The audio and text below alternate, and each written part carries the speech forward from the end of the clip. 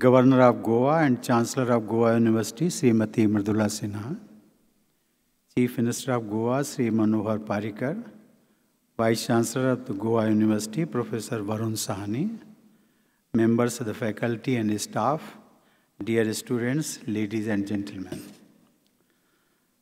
This is my first visit to Goa since taking office as President of India, and I am extremely happy that it has coincided with the 30th annual convocation of Goa University. Higher education is a theme that obsesses me and is an area of priority for my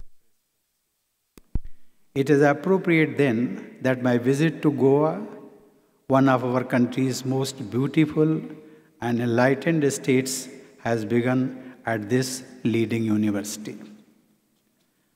I understand it is the fourth time that the President of India is attending this convocation.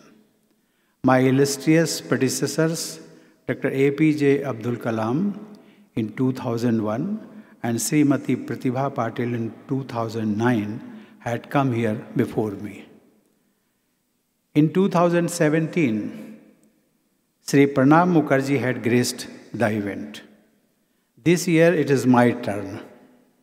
You will accept that it is very unusual for the President of India to be the chief guest at the convocation of a university two years in a row.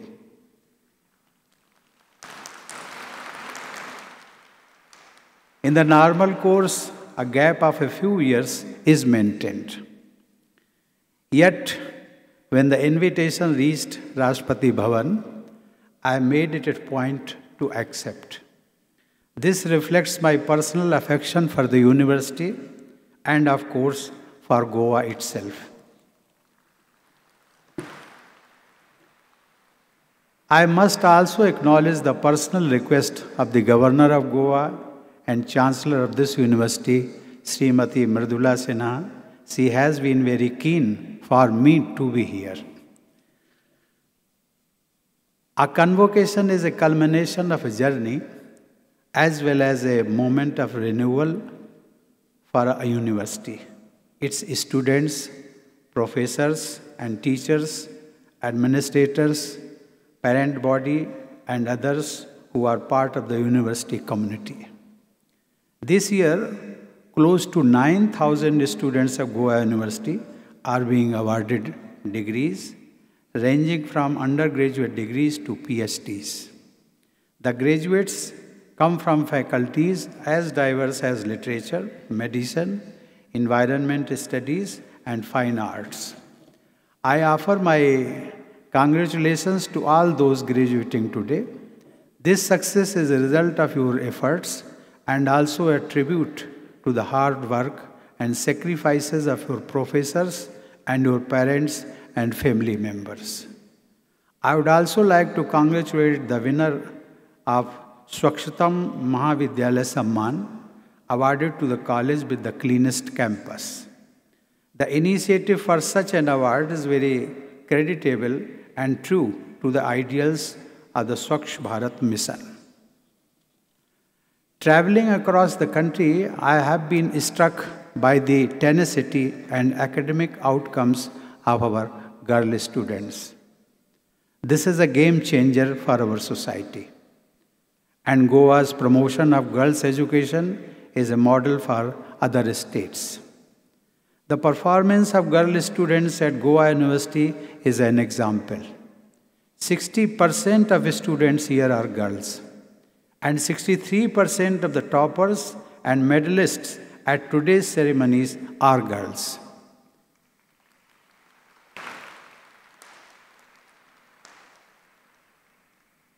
We are not going to stop here. I am told that of the 67 gold medals being awarded today, 41 have been won by girl students.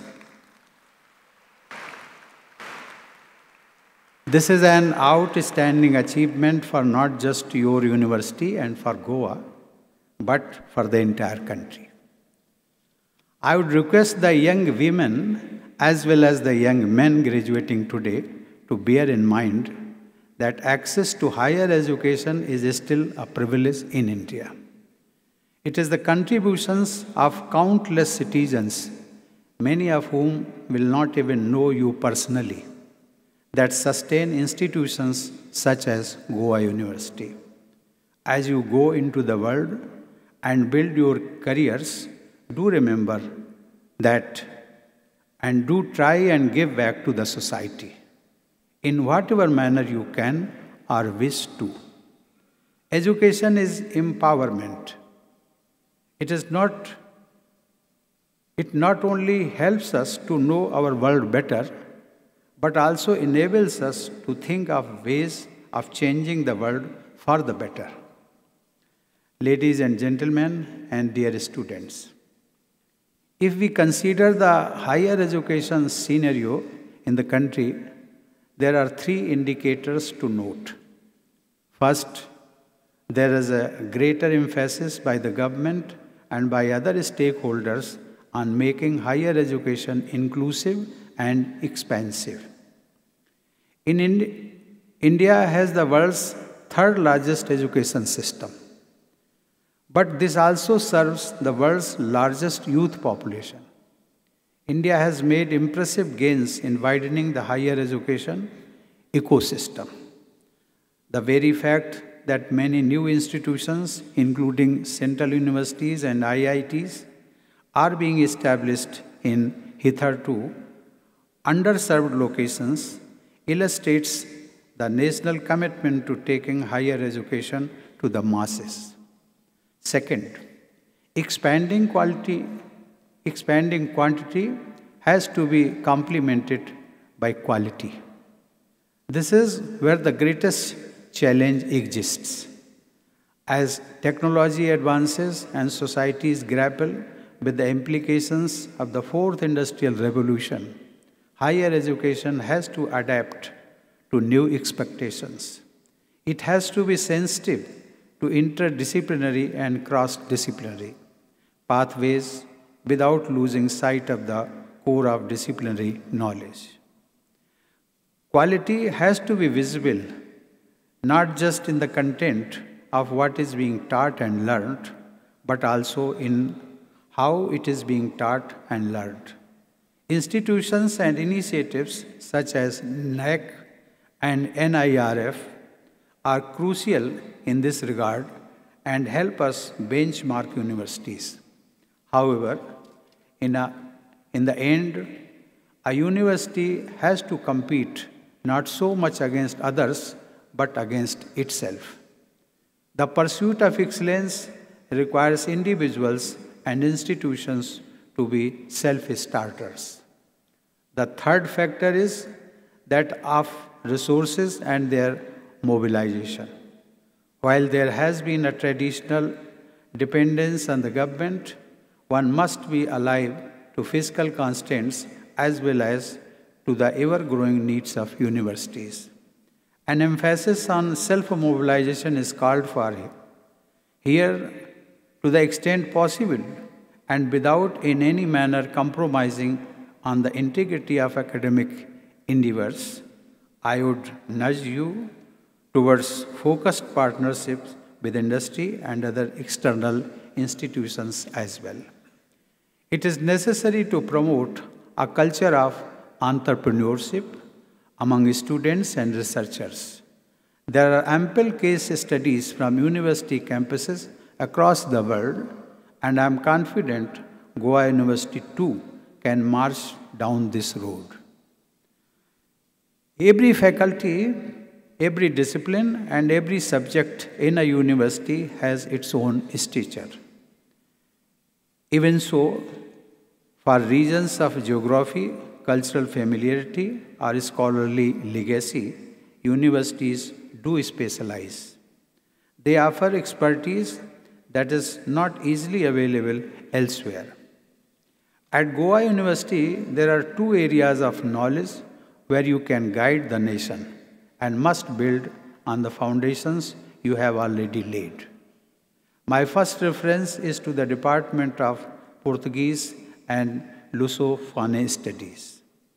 I am told this department is the only such in the subcontinent. It offers us an opportunity to gain insight into and build networks with Lusophone countries that extend from Africa to South America. And of course, it offers us an opportunity to strengthen relations with Portugal and the European Union, which is a very valuable partner. My second reference is to the Department of Marine Sciences. It has several branches of study, including physical oceanography, marine geology, and marine biology, among others. The potential for this department is near limitless. India is surrounded by the ocean. It has a long coastline and substantial marine zone. Nevertheless, we have been slow in realizing the wealth of the ocean and in developing our blue economy. From marine biodiversity and its uses to energy sources and minerals in the sea, there is so much we can work on. India can be a leader in this field, and I, see, I see Goa University as a fulcrum of our blue economy knowledge enterprise. I would urge you to think and strategize in this direction.